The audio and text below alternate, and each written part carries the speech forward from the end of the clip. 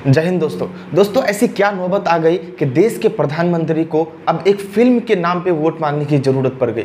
जी हाँ दोस्तों, हमारे देश के प्रधानमंत्री श्री नरेंद्र मोदी द केरला फ़ाइल के नाम पे वोट मांगने की कोशिश कर रहे हैं और जगह जगह पे जाकर ये स्पीच दे रहे हैं। लेकिन देश के प्रधानमंत्री ये बात बोल करके किस तरह से फंस गए हैं और किस तरह से विपक्षियों के घेरे में आ गए हैं, आगे मैं आपके वीडियो में बताऊँगा। सबसे पहले आप इस वीडियो को देखिए।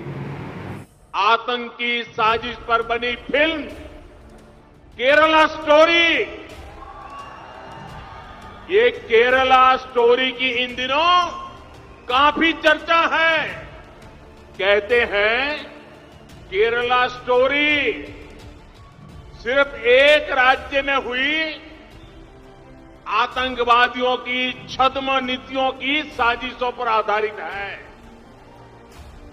देश का इतना खूबसूरत राज्य, जहाँ के लोग इतने परिश्रमी और प्रतिभाशाली होते हैं, उस केरला के में चल रही आतंकी साजिश का खुलासा, ये केरला स्टोरी फ़िल्म में, केरला फाइल्स फ़िल्म में उसे किया गया है।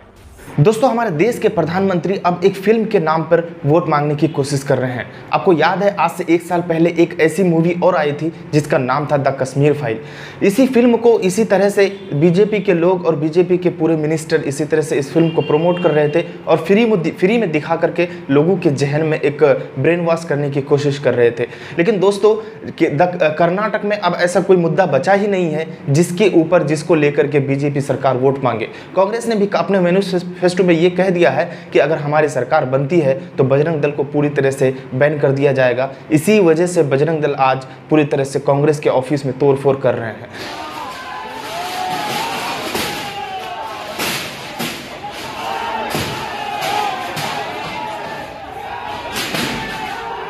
लेकिन बात वो वो नहीं है।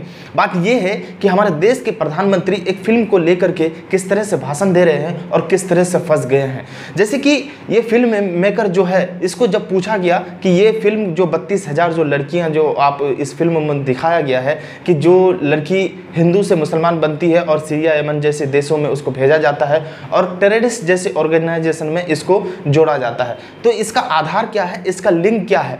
दोस्तों, ये जो फ़िल्म है, ये जो कहानी है, ये पूरी तरह से फेक है, पूरी तरह से लोगों को ब्रेन वॉश करने की कोशिश किया जा रहा है, क्योंकि ये जो कहानी है अगर तो केरला की है, लेकिन अभी इलेक्शन कर्नाटक में है और कर्नाटक में जाके हमारे देश के प्रधानमंत्री ये स्पीच देते हैं कि केरला जैसे स्टोरी जो है, वो पूरे केरला के लड़कियों पे बेस्ड है, ऐसे कहानियों पे बेस्ड है। लेकिन सबसे बड़ी बात यह है कि कर्नाटक में जहाँ पे करप्ट करप्शन का इशू है तो ये फिर केरला स्टोरी को लाभ घुसा करके कौन सी बात करने की बात कर रहे हैं हमारे देश के प्रधानमंत्री?